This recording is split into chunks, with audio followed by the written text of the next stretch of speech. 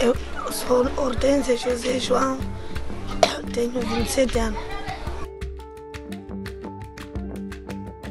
Eu estive dentro da casa a dormir.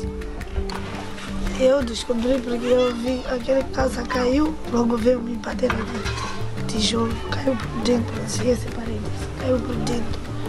Quando caiu, logo me bateu nessa perna, eu assustei logo. Estou levantar, estou a ver também criança está chorando desse lado. Sim. Daí gritei socorro, socorro. Esse mano já veio me socorrer. Está a ultimar de socorrer, essa parede também está a cair também por esse lado. Eu comecei a chorar e que estava mandando calar esse mano. Casa caiu, ele dormir aonde? Eu, mãe, não tenho, pai, não tenho. Quem vai fazer esse caso? Comecei a chorar. Eu fiquei aqui mesmo, há três dias eu a dormir aqui. Quando veio aquela dona que eu falei, veio me levar, fui ficar em casa dela. Eu tive que viver só daqui para não tenho onde eu vou. Só eu estive a ficar aqui. Então ele me deu um quarto para eu usar esse quarto.